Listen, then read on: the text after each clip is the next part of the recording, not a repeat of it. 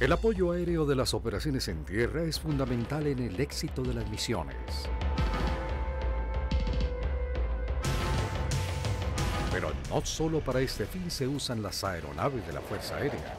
A la Dirección Nacional de Operaciones Especiales Aéreas llegan todas las alertas de emergencias del territorio nacional. En estas misiones el esfuerzo se concentra en salvar vidas.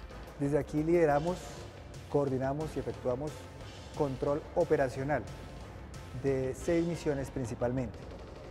La idea es efectuar misiones para, y operaciones para recuperación de personal y gestión del riesgo de desastres.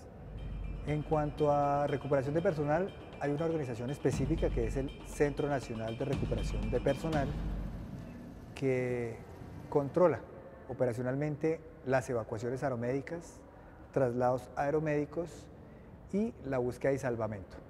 De manera que con nuestras bases aéreas e igualmente con las otras Fuerzas Armadas, nosotros coordinamos, en caso de que sea necesario, cualquier operación para recuperar un personal, para efectuar una búsqueda por alguna persona desaparecida o, o algún accidente o incidente eh, por una aeronave o una embarcación. La Fuerza Aérea también realiza vuelos de inspección para prevenir desastres mayores a través de las herramientas de inteligencia que poseen algunas aeronaves, control de incendios forestales o ayuda humanitaria. Utilizamos nuestras aeronaves, nuestros helicópteros para transportar ayuda humanitaria como frazadas, comida, agua y cualquier apoyo logístico que requiera una persona que haya sufrido por algún desastre de origen natural con nuestros helicópteros, los Bambi Bucket, coordinación con la Unidad Nacional de Gestión del Riesgo, la Dirección Nacional de Bomberos, personal de la Policía y eh, de Ejército, pues hemos hecho unas operaciones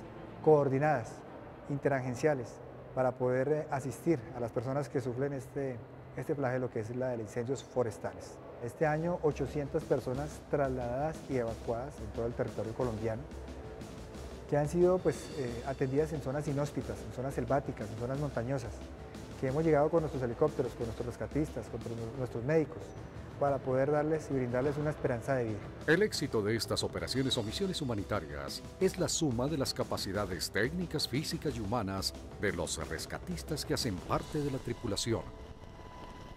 Tripulantes, pilotos, técnicos de vuelo, médicos, enfermeros, controladores y obviamente pues nuestros rescatistas, que son nuestros oficiales y suboficiales de la especialidad de seguridad y defensa de bases, que son los que se preparan para atender todas estas situaciones de emergencia, que atienden las personas heridas que no tienen ninguna opción, personas amputadas, que son los que ofrecen la primera atención a un paciente de estos que está en un área inhóspita. El técnico Elkin Peláez lleva 12 años en la Fuerza Aérea cumpliendo con honor la misión de salvar vidas. Y lo primero que uno piensa es que todo salga bien, que todo el equipo regrese completo y que obviamente em, el herido o el enfermo tenga una mayor oportunidad de vida.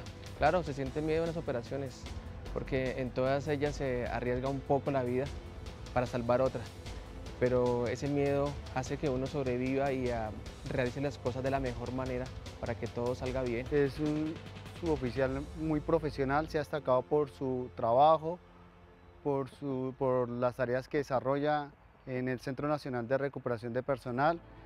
Ha sido reconocido por las condecoraciones por ese trabajo. Eh, eh, las, las operaciones que ha realizado han sido exitosas sin importar si ha tenido que rescatar una persona civil, un personal civil, un personal militar o un guerrillero.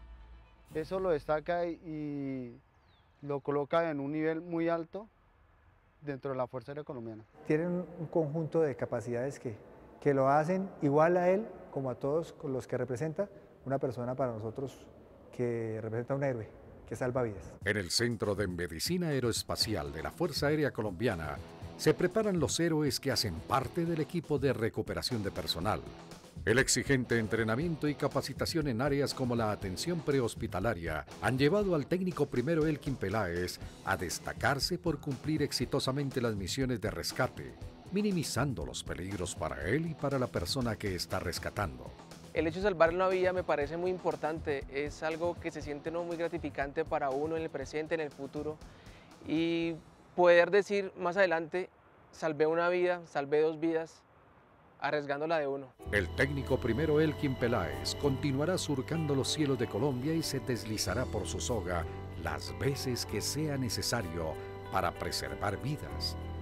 Una misión que eleva su espíritu y ante nuestros ojos un héroe más para destacar por su sacrificio y grandeza.